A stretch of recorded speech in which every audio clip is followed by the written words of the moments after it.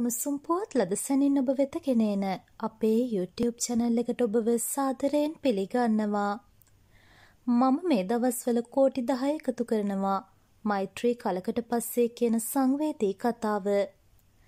පාස්කු ප්‍රහාරය සම්බන්ධයෙන් වන නඩු තීන්දුවට අදාළ වන්දි මුදල ගෙවීම සඳහා තමාට තවත් ඉතිරිව ඇත්තේ මාස 3ක කාලයක් පමණ බව හිටපු ජනාධිපති මෛත්‍රීපාල සිරිසේන මහතා පවසනවා.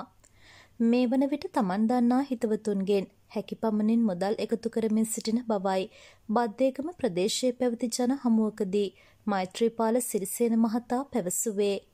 නියමිත කාලය තුල එම මුදල ගෙවීමට නොහැකි වුවහොත් අධිකරණය විසින් තමා සම්බන්ධයෙන් කුමන තීරණයක් ගන්නේද යන්න තමන් නොදන්නා බවද හිටපු ජනාධිපතිවරයා ප්‍රකාශ කර තිබුණා. මම ලෝකේ දිනාගෙන මේ රටේ ප්‍රජාතන්ත්‍රවාදය තහවුරු කරලා මේ රට හොඳ රටක් බවට පත් කරගෙන යනකොට තමයි ඔය පාස්කු ප්‍රහාරය ඇවිල්ලා මාව නැත්තටම නැති කරලා දාලා ඊයේ පෙරේද මට කෝටි 10කුත් ගෙවන්න සිද්ධ වුණේ. මම හොරකම් කරලත් නෑ මම බෝම්බ ගැහුවෙත් නෑ.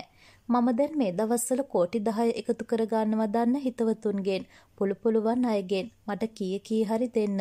නැතිනම් මට මාස 6යි දීලා තියෙන්නේ. දැන් තුන් මාසයක් ඉවරයි. එතකොට හය මාස ඉවරුනාම නීතියේ හැටියට එක්ක මාව හිරේ දානවද උසාවිය මොකද්ද නියෝගය දෙන්නේ කියලා මම දන්නේ නැහැ. මම නීතිය පිළිබඳ විශේෂඥයෙක් නෙවෙයි.